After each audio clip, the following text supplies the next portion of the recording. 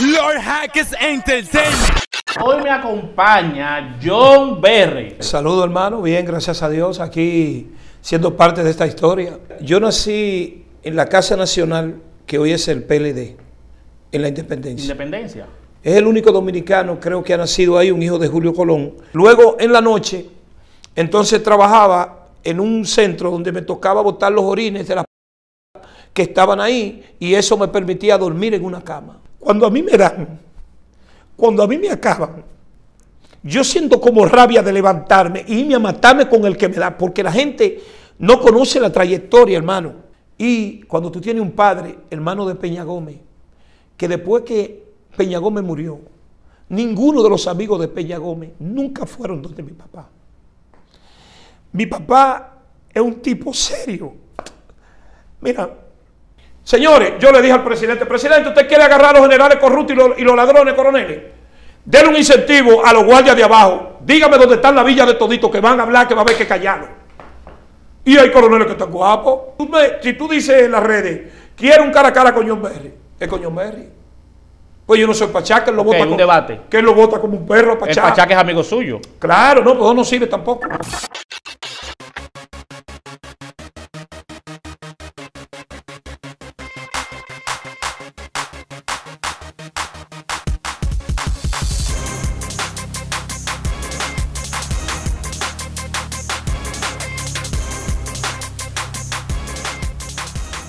John Berry es sin lugar a dudas una de las figuras más controversiales del ambiente artístico y político de la República Dominicana. Y aunque eso es parte fundamental de su personalidad, su trayectoria también incluye mucho trabajo social a favor de los demás. Pero él, al igual que todos, también tiene una historia que conoceremos a continuación en Más Allá de las redes. Señores, y como vieron en la intro, hoy me acompaña John Berry. ¿Cómo está? Saludo hermano, bien, gracias a Dios, aquí siendo parte de esta historia. Cada vez que veo que trae a alguien aquí, digo, ¿cuándo me tocará a mí? Usted sabe, usted sabe que yo lo invité hace mucho, no se Sí, haga. sí, pero que ya ha hecho una, una calidad. Es una entrevista donde la gente, el pueblo lo conoce. Porque a veces la gente no conoce al que ve, no sabe sus raíces. Por eso es que a veces te juzgan de una manera que tú dices, pero ¿por qué si no me conocen? Así mismo es. Y ese es el propósito de lo que hacemos aquí en Más Allá de las Redes. Que la gente conozca al ser humano que hay más allá de esa imagen que ven en redes sociales, en televisión en su caso, eh, y que muchas veces nos hacemos como una idea como tan vaga y tan superficial sin saber de dónde viene esa persona, qué Así le es. motiva, qué le inspira, y eso es lo que queremos que la gente conozca. Así es. de ¿Dónde nació John Berry? Mira, yo nací en la Casa Nacional, que hoy es el PLD, en la Independencia. Independencia. Es el único dominicano, creo que ha nacido ahí, un hijo de Julio Colón. En ese entonces era el Partido Revolucionario Dominicano. Usted nació ahí. Yo nací en esa casa. Creo que el único dominicano, todos estos dirigentes adultos del PLD me, me cargaron todos chiquitos, porque estuve en una silla de ruedas como hasta los 10 años. Wow. Y todos me iban, me hacían gracia, me llevaban eh, eh, caramelo, me dice mi madre que eran complacientes conmigo. Y ahí me crié, me dice mi madre que una vez salí gateando a- por la Avenida Independencia, que era de dos vías. Y eso me, me- por eso digo que soy político desde mi nacimiento. Wow, impresionante. Pero yo quiero que usted me cuente brevemente lo que pueda contarme. ¿Cómo se da eso de que usted nace ahí y de que hasta los 10 años estaba en silla de ruedas? Mis padres, Domingo, que está vivo, el único hermano del doctor Peña Gómez, mi madre murió, vivían en el partido. No había para pagar casa. Y habían seis dirigentes que vivían con seis esposas.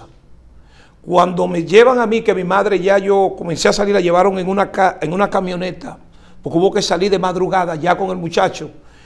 Eh, Mi papá decía que lo habían cambiado con otra que parió esa misma noche. Hija, hijo de Julio Colón. Y esto, eh, mi familia es muy pobre. El doctor Peña Gómez nunca presentó riqueza. Es decir, él lo decía, el día que yo fallezca, todos quedan pobres. Mi padre era un hombre que trabajaba en la Universidad Autónoma de Santo Domingo, en un departamento de aquí de la universidad, y a mí entonces desde los 15 años me tocaba llevar el Ciro a un puesto de frío frío que mi papá tenía en la Universidad Autónoma de Santo Domingo. Luego me puso mi potecito de China. Yo recuerdo que yo estaba esa tarde cuando mataron a Sagrario Díaz, que lo cargaron entre todos ese cadáver. Primera vez que vi un cadáver. Y dije, wow. Y recuerdo que había un mudito que me tenía jugo, me llevaba a la China porque era más fuerte que yo. Pero vengo de una familia que me siento orgulloso. El doctor Peña Gómez fallece, mi padre está en el lecho de una cama. Hoy precisamente mi madre cumple 15 años de muerta y tengo a mi padre ya en el lecho de una cama y me ha tocado como hijo de ocho que somos ser el responsable porque yo velo por mi familia, por los sobrinos, por las sobrinas, por el pago de la universidad, por esto, porque tengo que tener todo, pero vengo de una familia. Luego a los 16 años me voy a Venezuela y allá pongo un centro de leer las manos de 17 años. Vivía en la Luis Braille, el número 9 principal del cementerio. Ahí eh, vivía, primero trabajaba en una casa que eran prostitutas. Yo me fui menor de edad, pude salir, me fui con 7 dólares, vendí toda la ropa, toda la ropa mía, la vendí en el aeropuerto de Maiquetía. Primero un señor me pone a buscar a, eh, a Uyama de noche. Y era que había que robar a Uyama de un camión para venderla por la mañana. Y luego en la noche, entonces trabajaba en un centro donde me tocaba botar los orines de las prostitutas que estaban ahí y eso me permitía dormir en una cama. Para tener un techo. Para tener un techo, porque llegué sin nada y lo que había era ese prostíbulo. Yo me tocaba eh, botar la pochera cuando terminaban de hacer las relaciones, tendía la cama, llevaba el, jabón y, y, ahí me mantuve como dos años. Eso fue a los 16. 17 años llego, 17 años. Venezuela. Venezuela. Luego me voy al Junquito, donde mataron el, coronel hace un tiempo que se rebeló contra la dictadura. Y ahí entonces un señor me lleva y me dice, eh, mire, yo lo voy a llevar para una finca para que usted sea capataz. Yo, muchachito, recuerdo que me tocaba de hierbar como de aquí a la Duarte con París.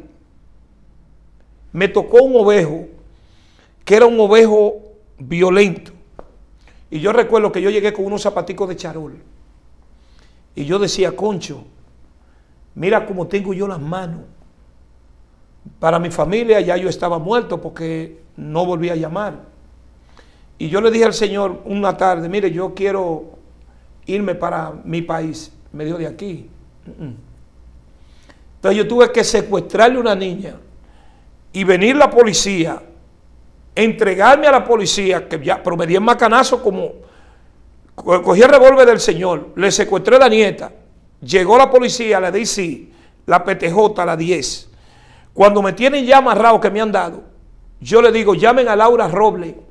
Un coronel que está ahí astuto dijo, un momentito, ¿cómo usted conoce? Ella es la asistente del presidente, yo soy sobrino de un gran hombre llamado José Francisco Peña Gómez. Y ando aquí buscando vida y este señor me engañó y me tenía secuestrado. Recuerdo que el señor lo hicieron preso, llamaron, combinaron, Peña Gómez se puso como, como el diablo y mi papá. Y recuerdo que esa misma tarde me montaron en un avión sin pasaporte y sin nada. En el aeropuerto me dio una paliza mi papá, que todo el mundo se rió menos yo, porque la gente no sabe lo que uno ha pasado. Yo vivía en Cambita y yo vivía, me casé con una, con una joven yo le di 80 pesos a un señor para que se hiciera pasar por mi papá. Y le di como a cuatro morenitos, le pagué como de a 15 pesos, porque mi papá decía, es adventista, y decía, ¿cómo tú te vas a casar con una mujer que tú acabas de conocerla? Y tuve que alquilar un señor. Mira, yo vivía ahí, en una casa que había una letrina para 17 familias. En Cambita. Mira, cuando a mí me dan, cuando a mí me acaban, yo siento como rabia de levantarme y irme a matarme con el que me da, porque la gente no conoce la trayectoria, hermano. Hermano, yo tenía que dormir en una guagua, porque el cuarto era chiquito, matando mosquitos la noche entera. El doctor Peñagón me vivía allí en Cambita, pero yo tenía que hacer mi vida, porque yo dije, me casé. El papá de la mujer tuvo que comprarme una cama tuvo que comprar todo. La mamá me buscó unos zapatos para la boda. Nos desmontamos del carro y buscamos 500 pesos prestados para ir al hotel. Porque yo me enamoré.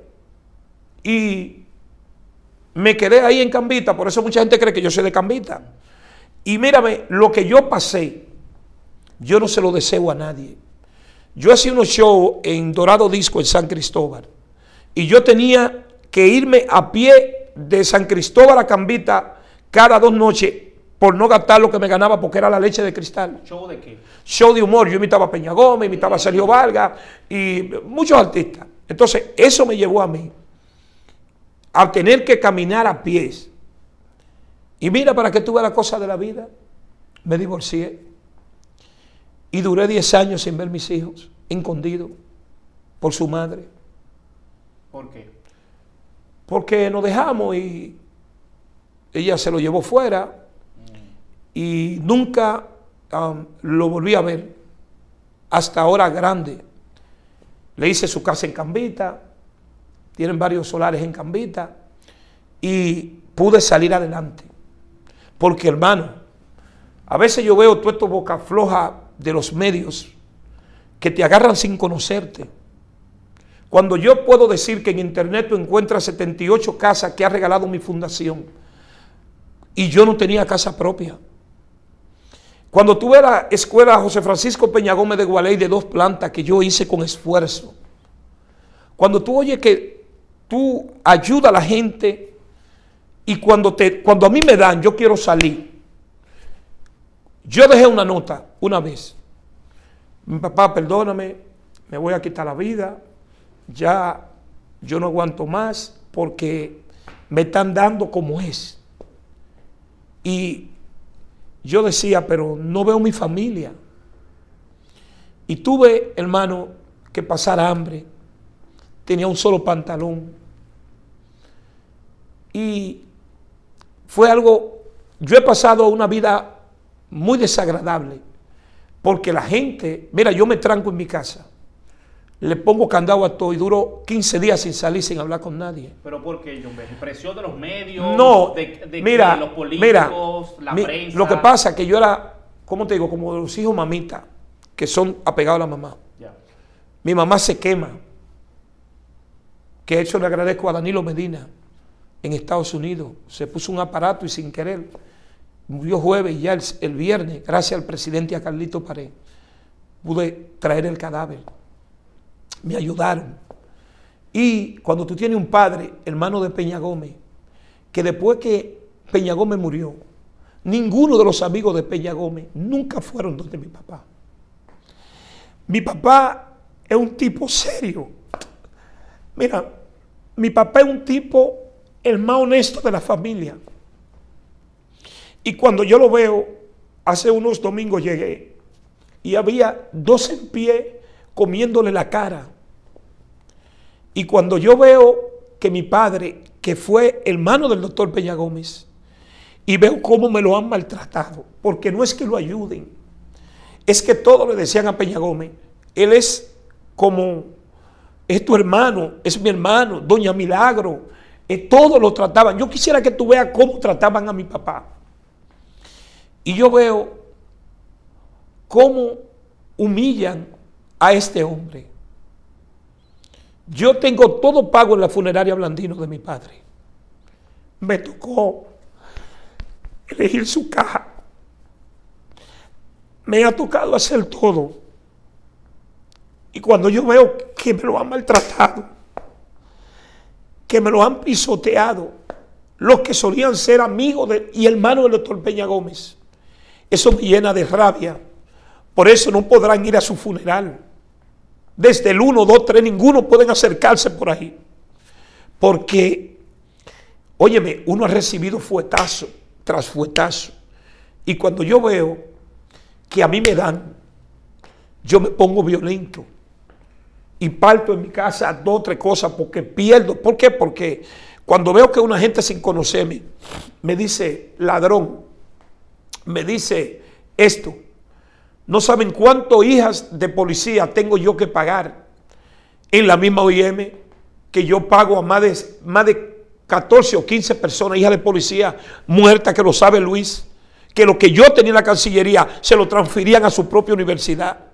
Para pagar sus estudios. Pero claro, y, y- y- y a la Universidad del Caribe.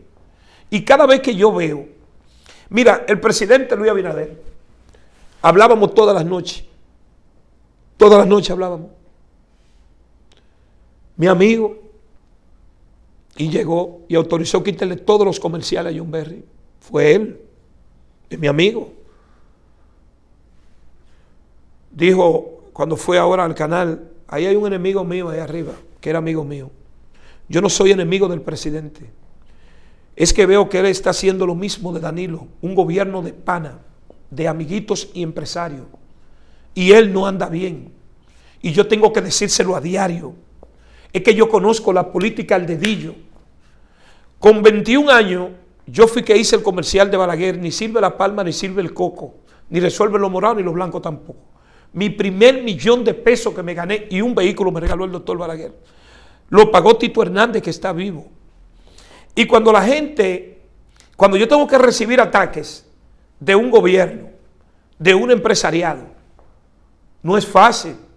Confundieron a mi camarógrafo conmigo y me lo metrallaron en mi carro. Y lo que mataron yo saliendo del carro, andan en las calles, lo soltó. Una hija la gran puta jueza de este país. Y ese muchacho dejó dos niños en la orfandad. Yo me desmonté del vehículo y, y- y ahí mismo los tiro. Y yo andaba en el carro y yo le había dicho, vete a Baní. Y no sabía. Y cuando llegué se montó. Y eso terminó esa noche ahí. Y cuando tú ves que la gente no mira la trayectoria y te dicen a ti, mira John, cuando yo veo a los foques, que me da? Que cuando ponemos las dos conductas, hay una que sirve y otra no. Cuando tú ves gente que, que quiere agredirte, porque en cuanto tú adquieras con tu canal de YouTube una amplitud, va a encontrar enemigos.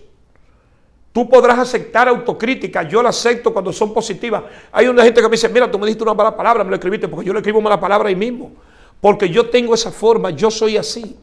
O sea, cuando tú tienes tantas bajas, que pierde tu papá, que a tu mamá, que tú aquí, perdí a mi hermano, eh, perdí otra hermana, tú dices, ven acá, yo, la vida me está golpeando muy fuerte. Yo una vez escribí una carta y me despidiéndome y subí a la Cámara de, Diput- de Diputados yo y me robé un arma para darme un tiro, para salir. Sí, con una depresión tremenda, hermano. Porque, porque es que la gente no sabe lo que ha te costado. sientes atacado. Yo quiero, yo quiero que, yo quiero hacerte una cuanta pregunta, porque me interesa que la gente se identifique con el ser humano que está sentado aquí. Y hay dos preguntas fundamentales que yo quiero que tú respondas. La primera, me contaste que hasta los 10 años estabas en silla de ruedas. Sí. Quiero saber qué pasaba contigo en tu infancia, que estabas en silla de ruedas a los 10 años. Y luego quiero que me digas la razón por la que te fuiste. Mira, yo... Para que luego hablemos No, hay, hay, hay, hay, hay niños que no son inválidos y que no caminan. Yo no caminaba, a mí me tenían todo el tiempo en una mecedora y de ahí me pasaban a la O silla. sea, no era una condición de salud. No, no, no era una condición que no caminaba. Fui como retardido para caminar. Que caminaste tarde. Tarde, exacto. ¿Qué pasa? Bien. Para mis padres, yo iba a ser inválido. Mi mamá, dice mi papá, que le dio los cuartos de los zapatos, pero que mi mamá los jugó.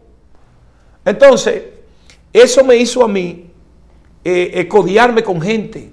Por eso es que yo regalo tantas sillas de rueda, hermano. Desde que yo veo un inválido, eso me mortifica, porque es que yo sé lo que, lo que es no caminar. Te recuerdas. Exactamente. ¿Por qué tengo que dejar el país? Sí. Porque era un joven que no tenía nada. Yo recuerdo que el pasaje costó como 1.300 pesos para Venezuela. Pero tú eras sobrino de una figura de trascendencia en la República Dominicana. Es que Peña Gómez, eh, el Peña Gómez, mira, cuando él fue síndico, a mí me pusieron a, a- yo era el encargado de limpiar el parque de la Venezuela entero. Chamaquito. O sea, él no me dijo, ven, ponte aquí. Ya. No, no, denle un escobillón y que ese parque, Siempre oye, honesto el doctor Peña Gómez. Siempre. Pero ¿qué pasa? Un lío. Yo limpiaba el parque a la mañana, pero el colegio adventista que estaba al frente, yo estudiaba ahí. Yo tenía que ir con un gorro para que no me vean lo que- la gente, porque Ya, me decía, "Ven acá, me van a ver limpiando este parque. Entonces yo me fui a Venezuela, cogí toda mi lucha. Por eso yo tengo tres, tres empleados venezolanos en mi empresa. Porque yo ese país lo quiero y quiero que salga de, esa dictadura. Y eso me enseñó a mí a ser mecánico, a cocinar. Yo aprendí de todo ahí, hermano. Porque ese país me enseñó a mí como a ser un hombrecito a poco tiempo. John Berry, algo que la gente se va a preguntar. Usted es una persona que ayuda a mucha gente. Me acaba de decir que ayuda a algunas personas con el tema de la colegiatura Sí. de, la, de la universidad, ayuda a gente con casas, lo vemos en televisión buscando donaciones para ayudar a gente con situaciones de salud. ¿Usted ayuda a su papá? Mira, yo me he hecho cargo no de mi papá, de toda mi familia. El problema no es que yo me sienta mal porque el gobierno no asuma a mi papá. Es un problema de trato. Cuando Hipólito llegó le dijo, tú eres el gobernador del palacio.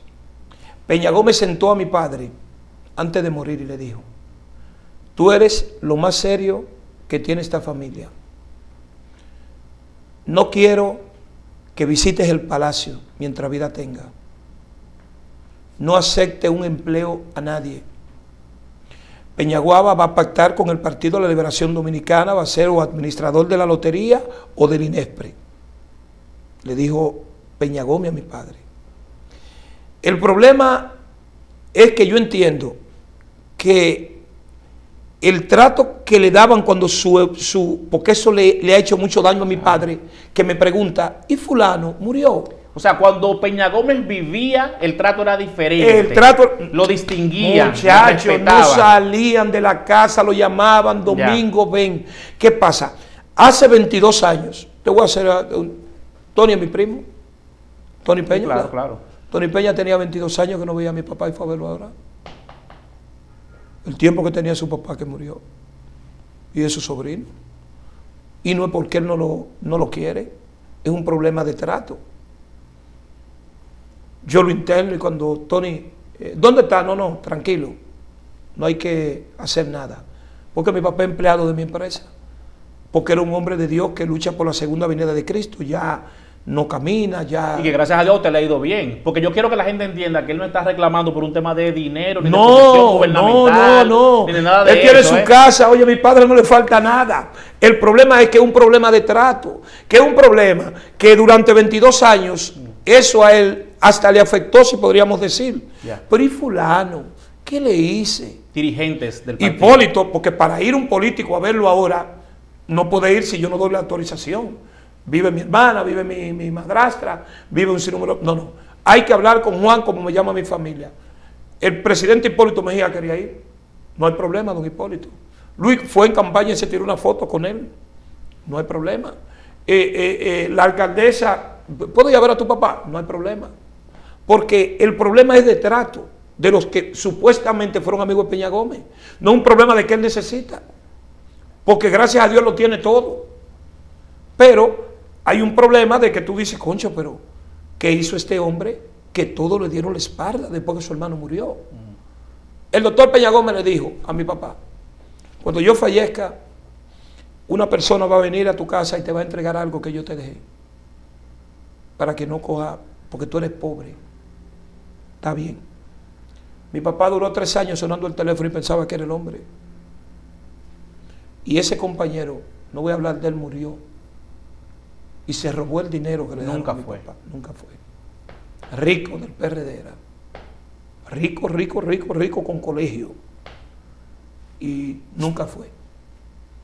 Porque Peña Gómez, la mayoría ni a él lo querían. Porque yo hablaba con Peña Gómez. Acuérdate que Peña Gómez me decía Chacumberry y yo no salía de Cambita porque viví en Cambita. Y desde que él llegaba, el muchacho me avisaba, me mandaba un motor, ya llegó el doctor. Y lo escuchaba como enfadado con gente. Porque lo mismo, pero yo le digo a Luis, que tiene que saber, porque cuando Salvador tuvo problemas, el partido no lo apoyó. Cuando Hipólito tuvo problemas, fue el partido, actuó y un grupo, que Dios lo tenga en gloria, que le dio. Por eso le digo, tienes que buscar a la base de tu partido, que esto no es para amigos. Y le he aceptado toda la presión, porque la presión me la tiene Luis. Es Luis. Cuando tú hablas de presión, ¿te refieres a presión gubernamental Presión- o mediática? oye, te voy a decir, a mí me invitó el ministro de, de Educación a su despacho. Quiero verte. Y cuando llegué me dijo, mira el bulldog, el perro que tú dices aquí donde está. Oye, ¿para qué ese hombre me llamó a mí? Yo tengo un canal en cuatro telecables y me habló de darme para yo poder en el área del Cibao las clases. Y ese hombre me llamó para decirme, este es el bulldog, el perro que tú dices todos los días. Y yo le dije, yo no le doy al perro, yo le doy al amo. Me paré y me fui. Porque ellos van a caer presos, la mayoría van a caer presos. Luis está engañado. Y yo se lo digo todas las mañanas en mi programa y caminero. El presidente tiene que abrir los ojos. Porque lo que está pasando, Luis tiene que tener a su partido, no tiene su partido. Y esos ataques, mira, a mí me pueden dar con todo. Yo tengo una nómina de 200 mil pesos y yo no tengo anuncio. Y yo pago mi programa, yo pago 5 mil dólares en el, en el 33 y no tengo anuncio. 5 mil dólares en el 33, 260 ahí y 260. Y el hecho de yo ayudar a mi familia dio, porque hago muchos documentales, eh, grabo muchos videos ¿Cómo sostiene toda esa estructura? con, lo- con los trabajos que hago extra. Llega un caso de un abuso, de una tierra, una cosa, yo defiendo a una persona y la gente camina porque hay una orden del presidente de que no me den publicidad.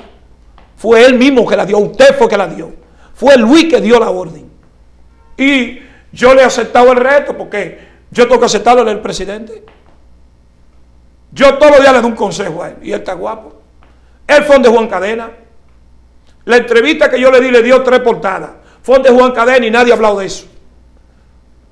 Porque señores, los presidentes se creen. La gente tiene que ver lo que, lo que pasó con Chávez, con Hipólito y conmigo. Hipólito nunca pensó que yo le iba a decir a Chávez que aquí lo iban a matar. Tú tienes al frente tuyo el dominicano que le dijo a Chávez que lo iban a matar y dice que el petróleo lo llevaran para casa del diablo. Tú traes a Hipólito un día, hábleme de John Berry con Chávez. Fue este dominicano que está aquí que fue de Chávez.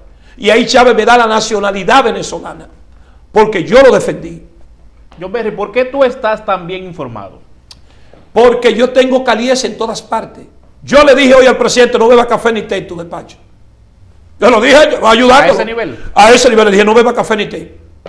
Porque hay un sector de las Fuerzas Armadas que están puestos para él. Porque tú tienes confianza en Luis Abinader como presidente de la República. Claro, no, no, porque es que. Porque no, es importante también saber eso. O sea, No, ¿Tú no. crees que él puede hacer un buen No, gobierno? es que yo, no, yo hablo con él por WhatsApp. Ok. Eh, oye, él me da con todo y yo lo saludo. Dime, Luis, ¿qué es lo que hay?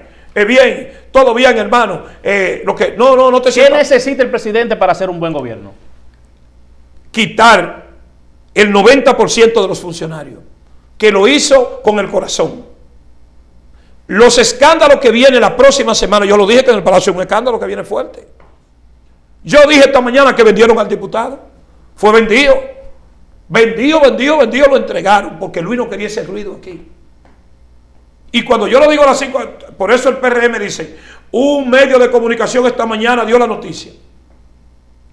Porque el presidente tiene que saber que es un país enfermo. Tú le pones 7 mil pesos a un ministro para salir a los pueblos. Es para que roben. Un ministro tiene que andar como un ministro. Señores, los escándalos a diario, el de la lotería. Yo no le dije a él en el WhatsApp que ese señor se peló a Caquito y yo estuve ahí con el micrófono y él dijo que tenía cáncer y me tocaba unos chelitos y era mentira. El administrador de la lotería en Bonao. Wow. El que está 5 millones, buscó 4 millones allá, se hizo pasar que tenía cáncer. Él no sabía que Holandito, el dueño de la lotería, pueblo dominicano, es Holandito, diputado Holandito, dueño de la banca OIM. Yo fui a Bonao y hice una encuesta. Él vendió el 13 ese día. En ninguna de las bancas de él vendieron el 13. El presidente tenía que ponerse los pantalones y destituir al director de la lotería ahí mismo, como lo hizo Cufaña. Si el pueblo está esperando. Lo que eso pasa es que van también. 13 sorteos. Son 13. tú- Es que te voy a decir, yo conozco la lotería. El primer premio se vende en 22.5 millones de pesos. El segundo se vende en 15 millones y algo. Y para tripleta son 62 millones de pesos. Y de ahí tú tienes que salir a jugar esa tripleta aquí en Estados Unidos y en Europa. Es una mafia bien organizada. Ah, porque como tú le... Entonces le dio a un banquero. Ese hombre que está ahí en la lotería estaba con Miguel, él es el hombre compañero mío. Ese hombre tiene como dos meses antes fue que llegó al PRM. Ese administrador de la lotería. John Berry, tú no temes, porque son acusaciones fuertes, tú no temes represalia de que la gente diga, tú tienes evidencia de ese tipo Pero de cosas. hermano, es que no evidencia, es que yo se lo dije a Luis cuando pasó lo de la, la- la- la cuestión de- del primo mío. El presidente, yo creo que no debe ser el mecanismo de hacer esto. Es verdad, porque la mamá me pone, es verdad. Es que todo yo se lo he dicho. Y yo le digo al presidente, presidente, mire, él va a abrir el año escolar un mes. ¿Qué van a hacer en un mes? No están robando los cuartos del desayuno. Presidente, lo están engañando. Y yo lo digo a él. Como su esposa ve este, esta- este programa y te sigue, es bueno que sepan que el presidente tiene que quitar la mayoría de funcionarios. Son inservibles. Yo se lo digo a diario, presidente, por usted equivocarse, el pueblo no lo va a juzgar. Y le dije a usted que le prepare eso al doctor Leonel Fernández que se la va a poner.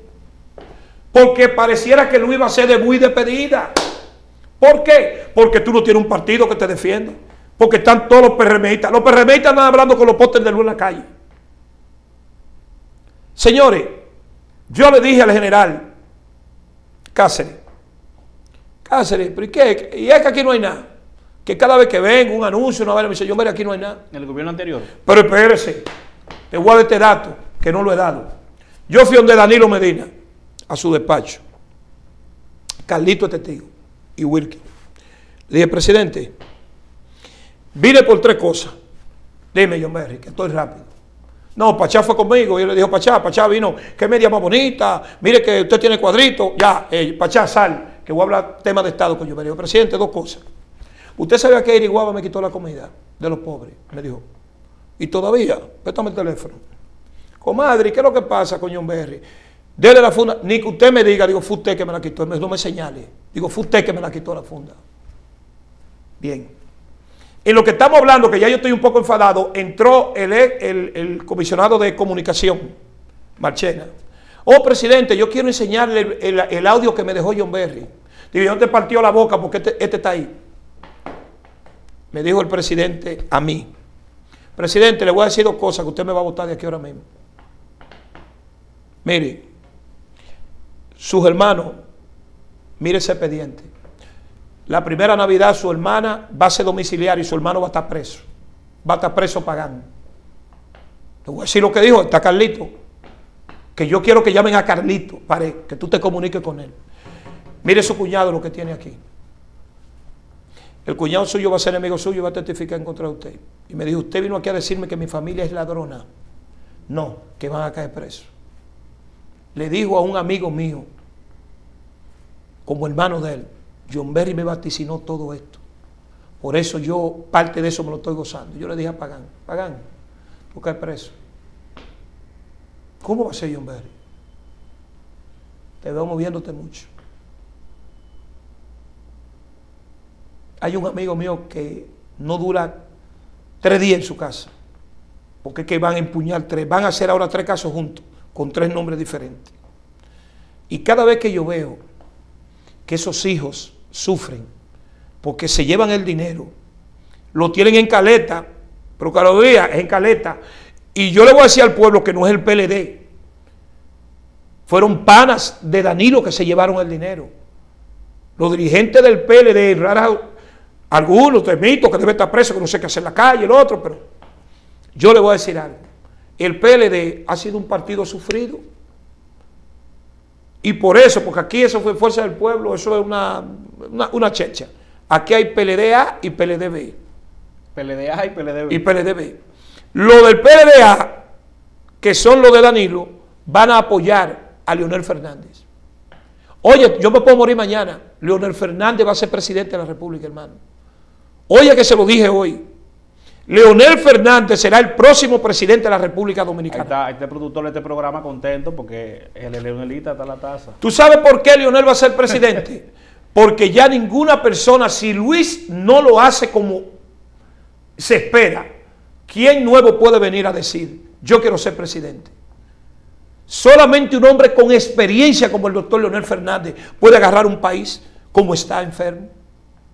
Pero ¿no crees tú que Luis tiene la oportunidad de hacerlo bien? O sea, tú Es has dicho no, que no. si él sale de una cantidad de gente que tú entiendes que no están haciendo lo que deben hacer, él puede hacer buen gobierno. Bueno, es que, es que cuando tú le dices ese caso de la lotería, ya tumbó el del PLD. Tú sales a la calle y nada más se habla de la lotería. Y Luis tiene ese hombre ahí. Porque Luis coge cuerda cuando le dicen quítalo. Él igual que Danilo. Cuando tú le dices a Luis, una gente anda mal, entonces él lo deja. Él, es mi amigo. Su esposa era loca conmigo. Ya, ya, yo le hablo y no me habla porque se quilló. Pero yo tengo que decirle al presidente de la República que todos apostamos que usted haga un buen gobierno. Pero usted va mal. Y yo se lo digo a diario que usted está mal. ¿Por qué está mal? Porque el presidente de la República tiene que escuchar a un dirigente de tu partido que esté en proconsumidor o que esté de supervisor, te va a defender. Mira, aquí le van a subir. No se reunió la plana mayor buscando dónde están las gomas del este que desaparecieron todas. Todas las gomas de los gomeros no saben dónde están. Todas las gomas se desaparecieron del este porque quieren prender el este, lo saben. O tú no sabías que hay un aliti con el gobierno norteamericano y los chinos por Manzanillo. Porque los americanos dicen que los chinos le están trayendo la vacuna para meter una vaina de espionaje ahí. Y que Luis le garantizó que eso va a estar ahí. Y el embajador lo ha visitado tres veces y le dijo al presidente, cuidadito. Nosotros estamos en medio de un estallido entre las naciones. Es que la gente no sabe, la gente... Entonces tú dices esto, los servicios de seguridad, un caliesaje que tiene el DNI, Margarito y un grupo grabando teléfonos porque son bandidos. Entonces andan en la calle, te graban los teléfonos. Yo lo único que no digo que no digan a la mujer lo que ellos ven que yo hablo con las otras. Pero yo veo que sí, porque yo lo digo claro.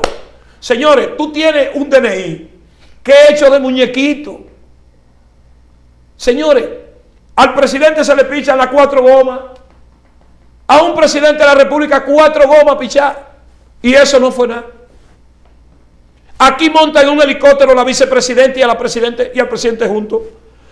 Dice la, la, la, la, ley que cuando uno te entierra, otro está en el aire. El único que hizo eso fue Danilo. Cuando se montó en el teleférico, montó a la bici. Porque pensó que Lionel le había hecho un ganchito. Y la montó a ella. Vámonos aquí. Yo- John Berry, la gente se tiene que estar preguntando cómo John Berry tiene acceso a tantas informaciones Pero porque- y cómo tú lo dices con esa naturalidad y franqueza, eh, como si tú no tuvieras ningún temor de Pero no puedo, represalia. es que no puedo tener temor porque, que, oye, yo digo todos los días, la Dirección Nacional de Control de Drogas cobra los peajes. Cuando el chamaquito se quita, me lo quieren meter preso. Yo tengo un fiscal sometido de la paz, me tiene sometido de que, que es un matón ahí abajo, que me le quería quitar 50 mil pesos a un sobrino mío. Y él, me y él me sometió a mí. ¿Y cómo me puede someter a mí? Tiene moral para someterme a mí. Porque es que la gente vive hablando disparate. Entonces este país hay que desentarlo. Cuando yo veo un jefe de la policía, este que está, dijo, ese tipo como que tiene problemas conmigo. Yo tengo problemas con usted. Usted, Popi. Fue que el presidente se equivocó. Se equivocó y lo puso usted. Ah, que estén en Santiago, no lo quitan. Hoy, ¿cómo va a quitar el general Ten si, general, Ten- si, la, si la esposa del director de la policía es la IGTEN? Eso está ahí entre familias. Entonces esto hay que decirlo. Presidente, no se deje confundir. Yo sé que esta entrevista va a tener mucha polémica. Yo le digo claro. No beba agua, ni café, ni té en el Palacio Nacional. Eso es muy fuerte. No, yo tengo que decírselo porque tengo que cuidarlo. Yo le lo dije a Danilo y Danilo me, me llamó una vez y Carlito llamó al coronel y a los guardias que le servían. Vea acá, ¿cuál de ustedes que quiere matar al presidente? Y eso de que fue una tembladera y que yo me dijo. Porque tú sabes qué es lo que pasa. Peña Gómez, no que. Peña Gómez cuando sabía que iba a ganar, él, él decía, no, no, no, no, no, no, no, no puede pasar. Porque sabe que, se- que lo tenían para lambérselo. ¿O tú crees que fue fortuita la muerte del doctor Peña Gómez? ¿Te lo creíste que fue fortuita? Digo, yo no sé. Ah, fue, eh, fue fortuita. ¿Qué usted cree que pasó ahí? Él mismo dio su vida, dio su vida. Había un médico ahí se inyectó, que lo sabe el país, lo sabe la familia. Porque había un médico de Santiago y Rodrigo llegó y dijo, si te vas te meto preso. Te dije que no lo inyectara. O sea, usted está diciendo que a Peña Gómez Eh, le- le- lo con- ayudaron. con, su anuencia. con su anu- ya, porque no, no se le podía poner una inyección. Y Rodrigón llegó que está vivo ahí. Si te vas, te meto preso, le dijo al doctor. Pero usted tiene evidencia de eso. Pero evidencia no, hay una hija que tiene una sangre guardada de él. Conmigo no. Hija de Peña. Hija de Peña Gómez. Es que, señores, señores, señores, en política hay una cosa que se ve y no se ve. Yo trabajo, porque déjame decirte también, agencias de Estados Unidos me protegen a mí también. Porque no creas que, que yo diga que estoy hablando en la calle, no, no. no, punto lo que usted dice, yo me imagino. No, que porque tú sabes que esto hay que decirlo, porque hay que desentar el país. Cuando tú ves que un general, señores, yo le dije al presidente, presidente, usted quiere agarrar a los generales corruptos y los, y los ladrones, coroneles.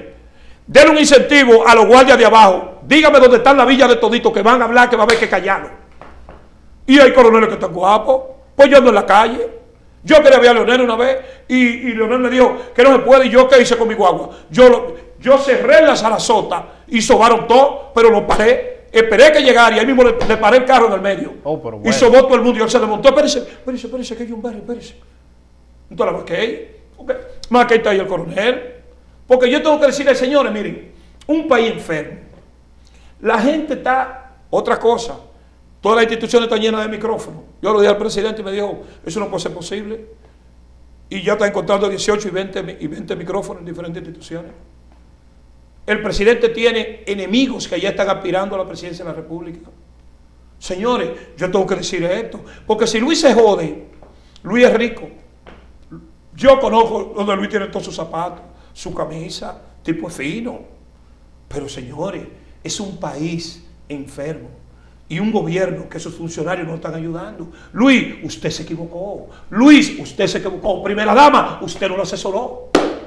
Ah, que está guapo. Yo puedo sobrevivir sin anuncio. Porque yo, y se lo estoy diciendo a, a los funcionarios de este gobierno, el que apara batea. Ellos están dando duro.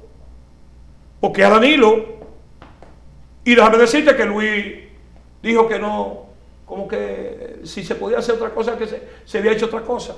Porque déjame decirte, esto de, de- yo estuve hablando, o yo no, una reunión que sostuvo Guido con un hermano de, de Candy, que es el, el enemigo de Danilo, el cuñado, ¿Por qué? porque Candy está guapa es por los hermanos, no es por mujeres, es porque los hermanos están metidos en unos líos. Ese hombre, al de los transformadores, le tienen hasta la cuenta de pagar el colegio, que él no puede pagarlo de sus hijas. Le tienen todo confiscado. El problema de ella irse para, para, para Madrid, que es una señora que respetamos, y yo sé que Danilo lo está pasando mal, porque fue que Danilo soportó muchas cosas. Cuando Danilo dice que tiene 25 millones, lo tiró a todo para adelante, porque el sapo fue Danilo. Danilo dijo, yo tengo 25 millones de pesos. Y yo dije, no puede ser posible porque yo el vehículo tengo que tener como 18, como 14. Entonces, cuando tú ves cosas así, y le dije, la salida de Leonel lo mete preso a usted, José Ramón, y tú ese grupo le dijeron, deje que Leonel se vaya, aguante con Leonel. Yo respeto a Gonzalo Castillo, mi amigo y hermano.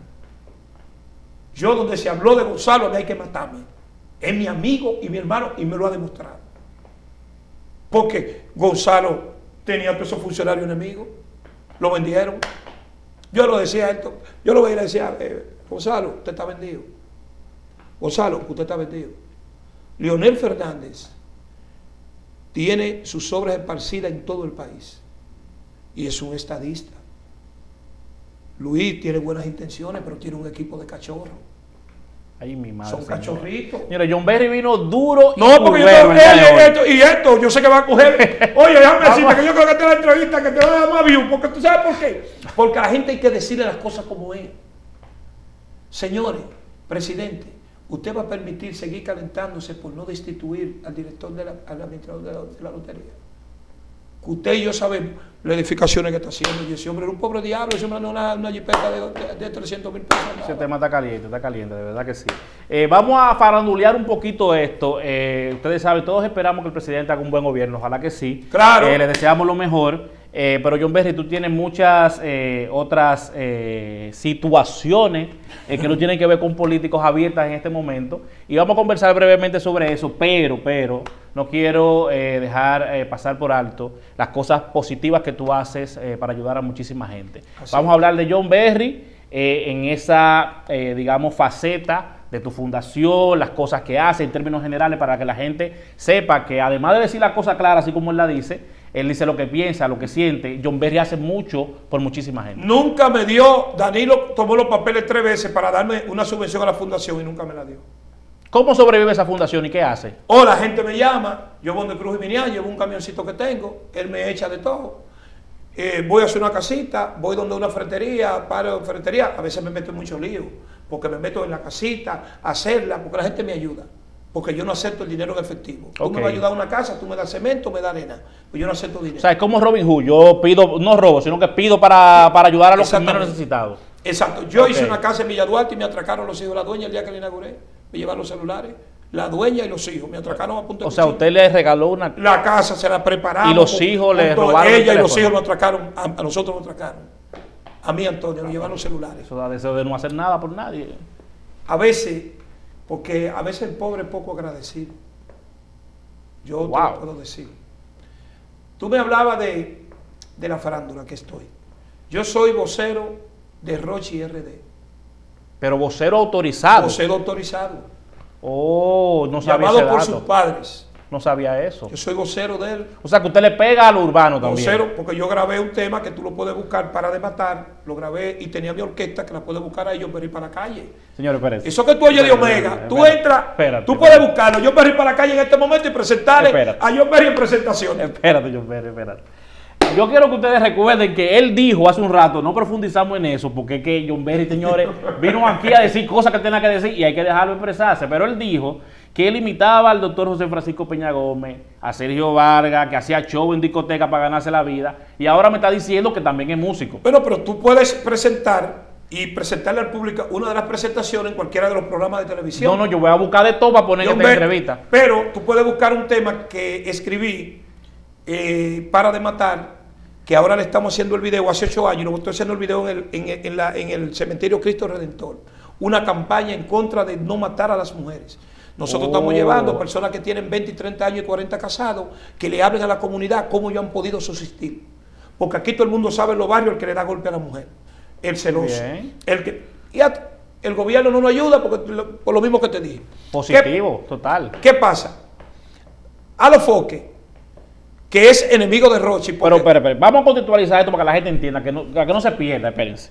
Usted me acaba de decir que usted es vocero, Vocero. autorizado de Rochi RD. sí, que es un de- y artista del movimiento paralelo completo. Sí, lo quiero, lo quiero contextualizar porque mucha gente nos ve de Centroamérica, Suramérica y quizás no tan como muy claro. Rochi RD es uno de los artistas urbanos dominicanos más populares en este momento. en este momento. El número uno en este momento. Usted es el vocero El autorizado vocero de él y del movimiento, Y del movimiento paralelo, paralelo. que es como el conglomerado de productores, artistas que, que- que son parte fundamental de la carrera de Roche, ¿verdad que sí? Así es. Entonces cuénteme ahora. ¿Qué pasa?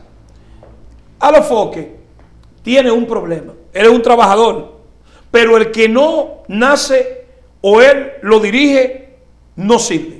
Pero ellos no son amigos porque yo- No, yo no soy, no, no. No, pero eso ¿qué es ahora, porque antes no, no, sí. Sí. eran amigos. ¿Qué pasa? Fueron a una gira a Europa, eh, a los foques un tipo extraño, porque a los foques es extraño, hermano. A los foques cree que todo, él tiene que ser la cabeza en todo, y no es así. El muchachito dijo, yo puedo, yo me voy a fajar yo, como él no lo quería poner en su plataforma, déjame hacer mi plataforma, movimiento paralelo, que le ha dado resultado. Eso, al ver que el muchacho, sin tener como el alfa aquí afuera ser rico, Ok. él ha sido rico aquí en el patio, en el bajo mundo. El bajo mundo ha hecho rico a Rochi, a Rochi. ¿Por qué? Porque Rochi no viaja a Estados Unidos, que lo están esperando. No le han podido arreglar la cuestión del problema que ha tenido y se está esperando ya que le den el visado. ¿Qué pasa? Como él no está con Rochi, él ha comenzado una campaña en contra de Rochi. Porque él está del lado del alfa. Pero usted tiene evidencia de eso. Claro, él trabaja con el alfa. Pero eso no significa que él esté en contra. Está en contra abiertamente. ¿O sí? Sí, está en contra. Él me invitó a su programa y yo le dije, yo voy pero sin tus guaremates. Yo voy sin tus guaremates. Y vamos, porque él me dijo a mí que él me iba a avergonzar para que yo hablaba del género. Yo pregunto. Cuando usted dice guaremate se refiere A los que están a con las demás personas que trabajan en el Claro, porque que si tú, me- si tú dices en las redes, quiero un cara a cara con John Berry, es con John Berry. Pues yo no soy Pachá, que él lo Ok, vota un como- debate. Que él lo vota como un perro a El Pachá. Pachá que es amigo suyo. Claro, no, pues no sirve tampoco, porque Pachá lo vota, eh, a los focos lo vota cada rato como un perro, lo saca a la cabina y vuelve un hombre con hijo, viejo, ya. ¿Qué pasa? Él ha tenido un- una un confrontación conmigo, él por sus seguidores que me, que me talaleen en, en todo lo que publico, Mm. pero que yo no le paro. ¿Por qué? Pero John Berry, antes, déjame Rochi. interrumpirte. Eso no es show, porque honestamente, cuando uno ve ese tipo de cosas, uno lo que se imagina es como que eso es- se trata de algún show, un montaje, No, como para mantener las redes no, calientes. No, no, no, no. Eso, es de verdad. No, eso es de verdad. Porque el problema es, los artistas de él están todos quebrados. Los artistas de él no tocan. Este muchachito lo ha podido lograr solo y eso le ha molestado a él. No, que yo lo llevé a fulano, no, pero tú fuiste y lo paraste de su casa, que tenía un suero puesto, y lo llevaste a la plaza de, de la bandera, el muchacho con dolor en el cuerpo entero. En febrero fue. en febrero. Sí. ¿Para qué lo llevaste? Para poder entrar, porque solo si iba lo apedreaban. Entonces, a lo mejor que tiene un problema que el que discute con él cree que él puede cerrar porque él se cree el amo y señor y no es así. Ya tú estás caducando. Todo el mundo caduca. Entonces, Rochi lo ha logrado. Él ha querido enfrentar a Rochi. Y el único que puede llevar a, a- a ese muchacho a la casa de Rochi soy yo. Bueno, pero ojalá que se dé la oportunidad de que conversen, porque yo siento que lo que más le conviene al movimiento urbano en general es llevar la fiesta en paz. es que el movimiento, es que, es que el lado de ellos no tiene dirigente. O sea, ahí no hay quien, mira, ahí cogió eh, eh, eh, Kiko, Crazy, y atrapió con la mamá de Roche. Todo tipo de palabras de inmundicia se la digo a esa señora. Que es un código de calle abajo. Eso se resuelve ya, eh, ya tú sabes. yo te conté cómo se resuelve eso. Porque no hay que tomar a las madres. ¿Por qué? Porque Rochi no necesita a los foques. Los shows en la televisión han subsistido sin Anthony Santos y el Maduro. Yo creo que cada quien puede hacer lo suyo. Claro, no hay que, entonces- No hay que, no hay que atacar. Él tiene que si es él, mira con el boli, otro problema. Ahorita tú pegas esto como es, ya te enfrenta. Porque eres así. No, que yo me hablando disparate, no disparate andas tú. Porque lo- por lo que tú has tenido problemas, yo nunca he tenido. Pues, nunca lo he tenido. Entonces, cada cual, cada pez en su agua. Yo no voy a entrevista con ese señor. Le dije que para ir a su entrevista tiene que ponerme 20 mil dólares. No voy. Él no es rico. Y nos vamos a ver. Porque él me dijo a mí, tú no sabes hablar de, eh, del, del movimiento. Entonces yo llamé a la Universidad del Caribe, que si daban esa materia me dicen que no. Llamé a todas las universidades y nadie de esa materia. Entonces, cuando vamos a ver los temas que tú has escrito y lo que John Berry ha escrito. Entonces, ¿cuál es el problema? John Berry me salió hasta músico, señores. Pero para que, para usted porque oye lo que pasa. Tú vas a ver los temas que yo canto y tú dices, no, pero espérate. Los mambos que tú oyes ahora de Omega, tú dices, pero vea que esto es lo mismo. Explícame, ¿y era antes de Omega? Vieron una orquesta que tocaba bien. Entonces, yo lo que le digo, señores, no hay que ir a la universidad para saber del género. ¿Por qué se lo están matando todos los demboceros? Porque cuando el chamaquito busca dinero, es el, es el hombre de la casa. No tiene quien lo aconseje. Sí. Y, Y no hay nadie que lo aconseje. Y hace falta, hace falta eso también. Hace falta. A mí me da mucha pena lo de Alofoque, pero yo siempre he dicho que saque un tiempecito y se ahorque. Ay, no, ay, no, yo. Claro, porque ¿qué? No, no, Santiago es una persona que ha aportado mucho. ha aportado, pero también es un tipo malo, es un tipo diabólico, yo lo conozco. Porque ¿cuál es la necesidad de él? Tiene un like, que John Berry, que esto. Porque, Pero eso no es farándula, John no, Berry, eso no es farándula, él sabe que como él quiera. Él sabe que como quiera, no, esto no es farándula. Pero yo no soy amigo de él. Todo va sin mencionarme a la mamá. Yo los códigos no, los respeto. No, familia, no. Yo lo digo, él puede decirme de todo, no mencionarme a mi mamá. Yo todo, yo le doy oportunidad. Los artistas que tienen que ver con el foco no pueden ir a mi programa sábado en grande los sábados, a Supercanal. No pueden ir tan petados. Tú el que sea de ese lado. Háblame de los proyectos de televisión, John Berry. Todos los programas. Sábado en grande tiene- rompió a Pachá. Pobre A tu amigo el Pachá, ¿eh? está roto. Porque yo me estuvieron en Estados Unidos, ¿no? Yo En me el estuve 33, ¿verdad que sí? Supercanal. Entonces dile a la gente dónde de está. 11 a 1 de la tarde. Ya pasaron los rosarios, eh, llevé a, a Johnny, eh, fueron los potros, eh, fue Mili Quesada, fue Boni Cepeda, han ido todas las orquestas duras de este país. Muy bien. Entonces, humildemente, nosotros hacemos este tipo de eventos y Que por cierto, quiero llamar la atención a David Collado, que le dio una idea para llevar unos conciertos a la playa y se lo vendieron a, a un merenguero, a Juan Luis Guerra, que está anunciando desde la playa. Esa promoción la tenía yo. A un concierto en vivo van a hacer, creo. Eso lo iba a hacer yo en tres playas, abriendo las ventanas del turismo. No, pero tú lo puedes hacer todavía con. Pero con ya la lo vendieron, eh, me cogió la idea, lo visito, como siempre, tú sabes. Yo lo conozco, es mi amigo. Pero siempre roban la idea a uno. Pero Juan Luis es Juan Luis. Eso vino ese muchacho y comparó el alfa con, con Juan Luis Guerra. Pero que yo ¿Qué siento que eso es para generar show. Show, pero hay cosas a veces que tú tienes que sopesar. No, Acuérdate que, que los desboceros todos se están poniendo nombres de artistas, de merengueros. Rochi dice que es Ramón Orlando. El otro, eh, Bulova, que no sabía que los reloj cantaban, se puso ahora Fernando Villarona. Señores, yo le voy a decir a los padres de estos exponentes que ellos van a fallecer a muy temprana edad, Ay, no, John Berry. porque no tienen control los padres de ellos. Ay, no, John Berry. no. Oye, ¿por qué? Mire ese niño No que falleció. decir, pero no le podemos decir a eso, no. ese carro que ese muchacho murió, ¿verdad? Ok, te refieres al, al joven que murió recientemente porque Exacto. estaba manejando a yo muy alta ese, velocidad. yo tengo ese mismo carro anda en él, negro. Esos carros de alto cilindraje, tú tienes que saber manejarlo. Todo lo grababan. Todo lo grababan. Señores, invertir es importante.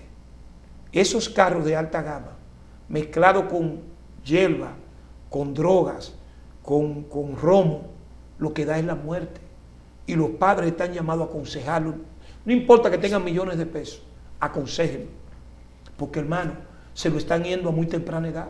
A igual que peloteros que están siendo firmados con Sí, firmas sí. apoteósicas. Sí, sí. Se están yendo. Eso es un tema que nosotros vamos a estar tratando también, porque de verdad que tenemos que hacer algo. Pero no le deseemos el mal, sino todo lo contrario. Busquemos la manera de Si no ayudarlos. se cuidan, se lo va a llevar el diablo. Pero hay que buscar la manera de ayudarlos, charla, concientizar de alguna forma, porque de verdad que sería una pena. Son jóvenes problema- que vienen de abajo, con mucho talento. Tienen familia, John Berry. No, no, porque el problema es que tú tienes que decir las cosas crudas para que le entiendan.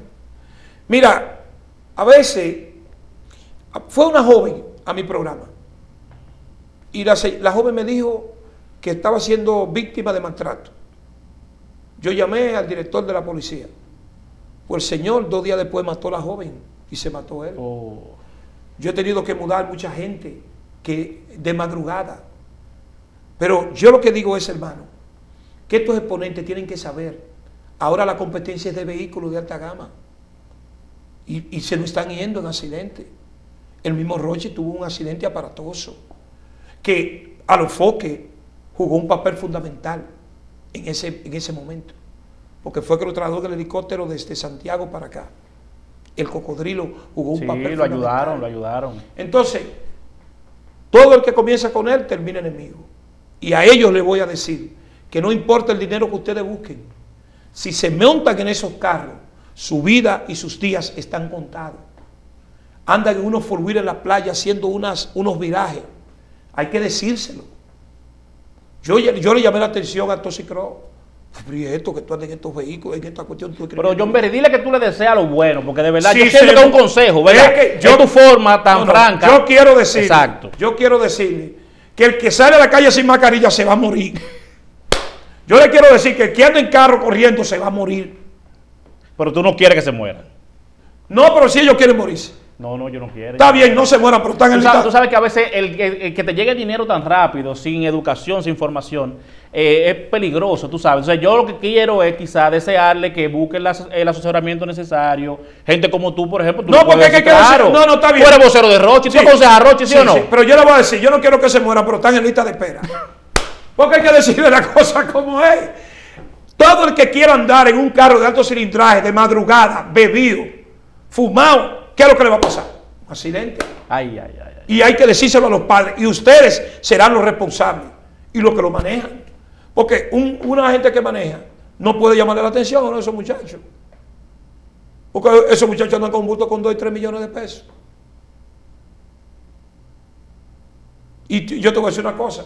Yo eh, te voy a invitar que le haga esta entrevista a Rochi. Te lo voy a conseguir. No, tráemelo, tráemelo, claro. Porque mira, yo quiero que tú veas la casa que ese muchacho le hizo a su mamá. ¿Dónde está el Te voy a comprometer públicamente, John Berry, en esa cámara que está en el centro. Roche RD, tú me lo vas a sentar Yo ahí te lo voy a Para sentar. que hablemos de la vida. Yo te lo voy a sentar aquí porque Claro, el para programa de la necesita, vida. para que conozca al ser humano. Claro, claro. Y quisiera que le haga este tipo de programa como que se lo haga en el barrio, para llenar el barrio de gente. Vamos, vamos. Para que ahí tú puedas hacer algo totalmente diferente. Porque mira, hay que conocer al artista. Rochi es un muchacho que en un momento determinado de su vida eh, estuvo trillando un camino equivocado. Pero si todo el que esté en la calle, atracando o que está en esto, cambia para bien, Ese es el mensaje. hay que felicitarlo. Ese es el mensaje. A eso que me refiero, John Berry. Y no, no, que ahí, Ese es el mensaje. Ahí está bien. Yo lo veo que él sale y yo le digo al muchacho, "Shh, al paso en ese vehículo, al paso, ¿eh? Ya lo lograron. Rochi es el único artista que llega a la, a la discoteca y antes de montarse hay que pagarle completo. Y después que cuentan el dinero, el Es paso. un fenómeno, un fenómeno, de verdad que sí. Te la va a gozar esa entrevista. No, no, vamos a hacerlo. Compromiso público con John Berry. Comprometido. Ya lo sabes. Mi hermano, yo quiero agradecerte mucho que hayas tomado el tiempo para venir y sentarte aquí a conversar. Yo sabía eh, que esto sería algo muy interesante. También sé que el día de hoy estaba un poquito complicado y te agradezco sobremanera que me hayas dedicado más de una hora para conversar no, no, conmigo hermano, aquí. feliz, feliz de la vida de compartir con esto. He visto muchas personalidades. He visto que el estilo de esta entrevista es diferente. Tú permites primero que la gente conozca al ser humano y luego vamos a hablar de lo de, en el área que te desenvuelve. Así es, Porque así hay es. programas que te llevan, te preguntan, eh, ¿cuántos programas? ¿Qué, ¿Qué ha hecho? Que lo otro, pero la gente no sabe. No, claro, y además ese es John Berry, señores. Lo que ustedes vieron de él es lo que él es, es una persona franca, directa, sincera, pero con un corazón enorme. Y yo quiero que ustedes se queden con eso. Mi hermano, muchísimas gracias de verdad. Gracias a usted, hermano. Cariño. Señores, a ustedes como siempre decirles que son parte fundamental de este proyecto. Ayúdenme a continuar promoviendo lo mejor de la Dominicana. Recuerden suscribirse aquí en el botoncito rojo, activen las notificaciones para que cada vez que yo comparta un nuevo contenido, tú estés ahí en primera fila disfrutándolo.